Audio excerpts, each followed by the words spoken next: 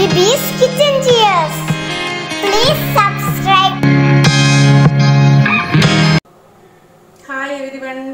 Welcome to my channel ഇന്ന് ഞാൻ തയ്യാറാക്കാൻ പോകുന്നത് കപ്പയും ബീഫും കൂടെ ഒരു കോമ്പിനേഷൻ ഉള്ള ഒരു കറിയാണ്. വളരെ ടേസ്റ്റി ആയിട്ട് വളരെ ഈസി ആയിട്ടൊക്കെ ഉണ്ടാക്കാൻ പറ്റുന്ന ഒരു കറിയാണ്. നമ്മൾ കപ്പ ബിരിയാണി എല്ലാവരും കഴിച്ചിട്ടുണ്ടാവും അല്ലേ? അതുപോലൊക്കെ തന്നെയാണ്. ഈ കപ്പയും ബീഫിന്റെ ഒക്കെ കോമ്പിനേഷൻ എന്ന് പറയുന്നത് എല്ലാവർക്കും ഇഷ്ടപ്പെടുന്ന ഒരു കോമ്പിനേഷനാണ് അപ്പോൾ ഇത് എങ്ങനെയാണ് നമുക്ക് തയ്യാറാക്കുന്നത് നമുക്ക് നോക്കാം.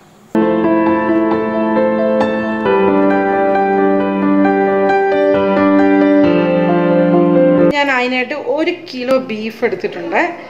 നമുക്ക് ഒരു കിലോ ബീഫ് ഞാൻ ഇതിനകത്ത് ഇപ്പോൾ കാണാൻ പറ്റും നമുക്ക് കുറച്ച് നെയ്യൊക്കെ ഉണ്ട്. അതുപോലെ തന്നെ എല്ലിന്റെ കഷ്ണങ്ങളൊക്കെ കിടപ്പുണ്ട്. എല്ലും നെയ്യും ഒക്കെ ഉണ്ടെങ്കിലാണ് ആ കപ്പ് ഇടുമ്പോൾ ടേസ്റ്റ് കിട്ടുള്ളൂ. ഉണ്ട് എല്ലും ഒക്കെ ഉണ്ട്. ഇറച്ചി ഒന്ന് വേവിക്കണം. വേവിക്കാനായിട്ട് നമുക്ക് അതിനകത്ത് അധിക സാധനമൊന്നും നമ്മൾ ഇട്ട് വെക്കണ്ട. മസാലകളൊക്കെ നമ്മൾ പിന്നെയാണ് ഇടുന്നത്.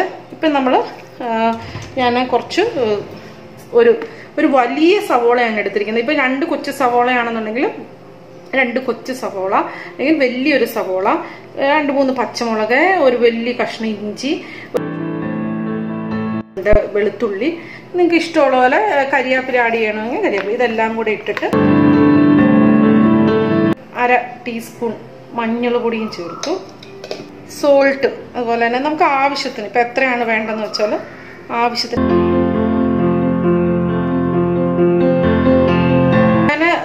ഒന്നര കിലോ കപ്പ എടുത്തിട്ടുണ്ട്. ഇതിപ്പോൾ ഇതിപ്പോ നിങ്ങൾക്ക് കപ്പക്കൊന്നുമില്ല. വേണമെങ്കിൽ ഒരു കിലോ ഇറച്ചിക്കും ഒരു കിലോ കപ്പ ആ രീതിയിലാണ് നമ്മൾ കണക്ക് പറയുന്നത്. ഇതിപ്പോ ഈ രണ്ടും കൂടെ ഇത് ഇത്ര ഉള്ളതുകൊണ്ട് കളയാൻ പാടില്ല കളയണ്ടാത്തതുകൊണ്ട് ഞാനിത് മുഴുവൻ എടുക്കുകയാണ്.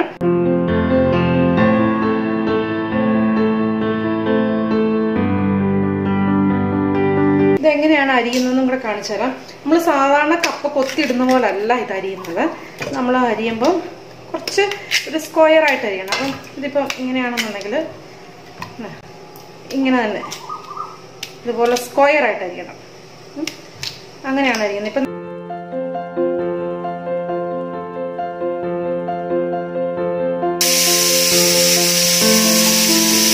ഇപ്പൊ കുക്കർ ഞാൻ തുറക്കാൻ പോവാണ്. തുറന്നിട്ട് നല്ല സ്മെല്ലൊക്കെ വരുന്നുണ്ട്. നമുക്ക് ഇപ്പൊ എല്ലൊക്കെ എല്ലാം വെന്തിട്ടുണ്ട്. ഞാൻ ഒന്ന് നോക്കാം. വെന്തിട്ടുണ്ടോ എന്നൊന്ന് നോക്കാണ്.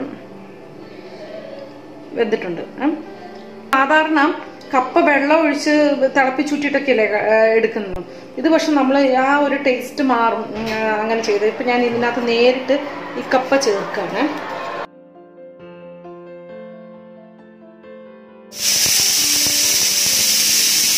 കുക്കർ ഒരു ഊത് ഊതിയിട്ടുണ്ട്.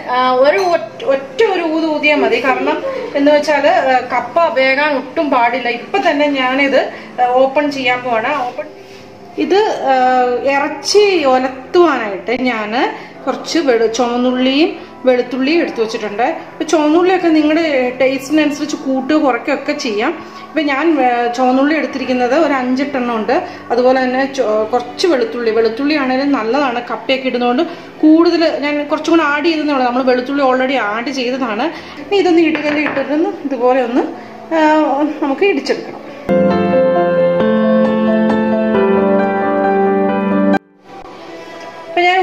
നന്നായിട്ട് ഇടിച്ചെടുത്ത് വെച്ചിട്ടുണ്ട്. ഇനി നമുക്ക് ഇതെങ്ങനെയാണ് താളിക്കണം? അല്ലെങ്കിൽ ഒലത്താനായിട്ട് എങ്ങനെയാണെന്നുള്ളത് നമുക്ക് നോക്കാം.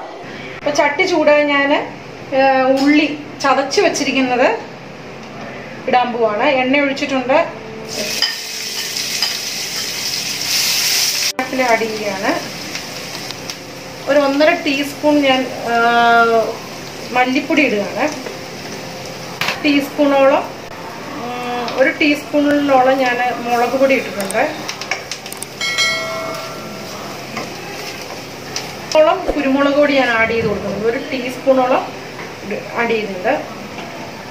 ആയിട്ട് ഒന്ന് മുരിഞ്ഞ് വരുമ്പോഴേക്കും ഒരു ഒരു സ്മെല്ല് വരും. എന്നിട്ട് വെന്ത് കണ്ട് ചിക്കൻ അല്ല ബീഫും കപ്പയും കൂടെ നല്ല ആയിട്ട് കുഴഞ്ഞിട്ടുണ്ട്. ഗരം മസാല ചേർക്കുന്നില്ല ഒരു അര ടീസ്പൂൺ ഗരം മസാലയും ഞാൻ ചേർക്കുന്നുള്ളൂ.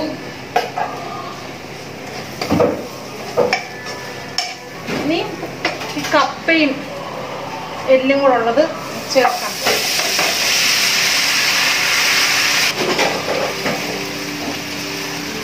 നന്നായിട്ട് യോജിച്ചു കൊടുക്കാം കുറച്ച് വെള്ളം വേണമെങ്കിൽ നമുക്ക് ആഡ് ചെയ്ത് കൊടുക്കാം ആവശ്യത്തിന്.